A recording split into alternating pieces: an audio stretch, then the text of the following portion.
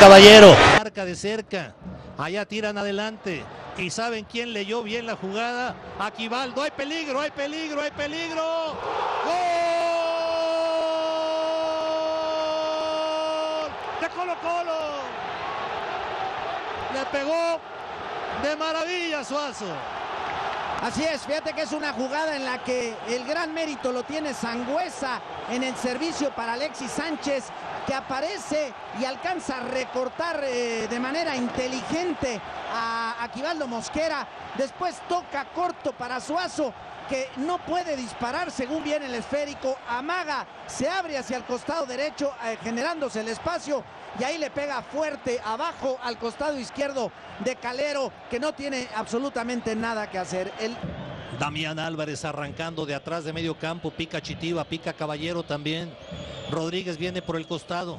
Aparece el Chaco en la posición de centro delantero. Pachuca viene. Pachuca gol. Del Pachuca. Caballero llega, toca.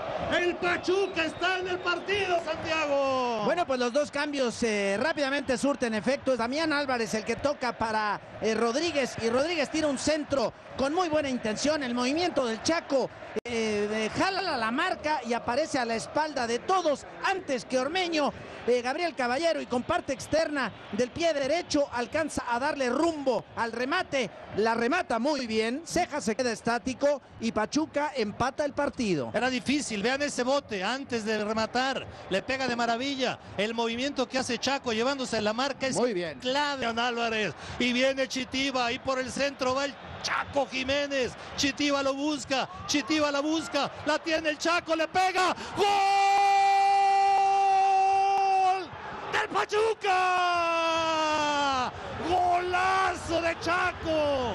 ¡Golazo de Pachuca! Extraordinaria jugada eh, después del de el tiro de esquina, como en el rechace la toma Damián y en medio de tres sale aguantando la falta, toca para el Chaco que de primera intención, aquí la vamos a ver toda. Este es Damián que muy bien libra la marca, aguanta la falta, se hace del esférico y toca para el Chaco que de primera abre a, a Chitiba.